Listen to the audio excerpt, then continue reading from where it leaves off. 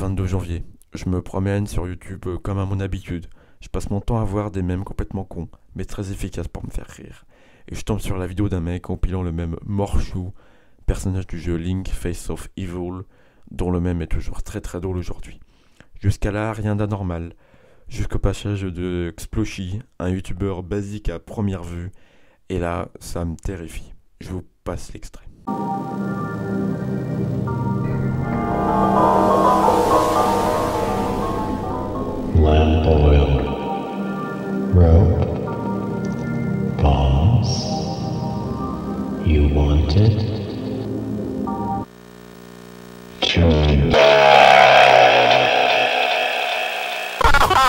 Je vois ceci et je suis perplexe. Ce même ayant tourné sur la toile, provenant d'un jeu lui-même nul à chier fait par Philips et qui a aussi connu une période même absolument magique tout de même, c'est troublant. On voit un morchou étant monotone, le visage anormalement fixe et regardant l'internaute dans les yeux répétant les paroles très connues.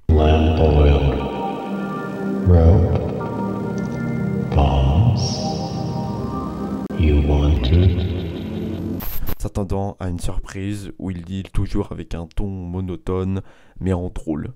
Mais rien, il regarde. Puis il n'y a que son ombre, ses yeux fixes plongés dans l'obscurité font un effet de malaise pesant. Puis il s'exclame.